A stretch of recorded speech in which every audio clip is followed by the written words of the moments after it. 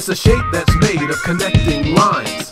Let's learn about polygons. The name will tell you the number of sides.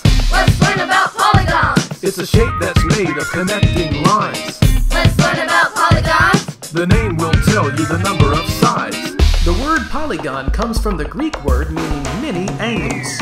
A triangle has three sides and three angles made from straight lines. You see triangles all the time. A triangle has three sides. A quadrilateral has four sides and four angles made from straight lines. A good example is a speed limit sign. A quadrilateral has four sides.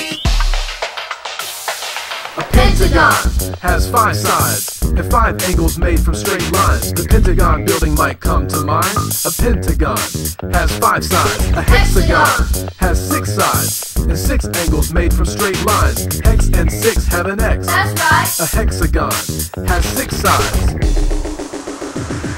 A heptagon has seven sides and seven angles made from straight lines. The word hepta means seven. That's right. A heptagon has seven sides. An octagon has eight from straight lines. A good example is a stop sign. An octagon has eight sides.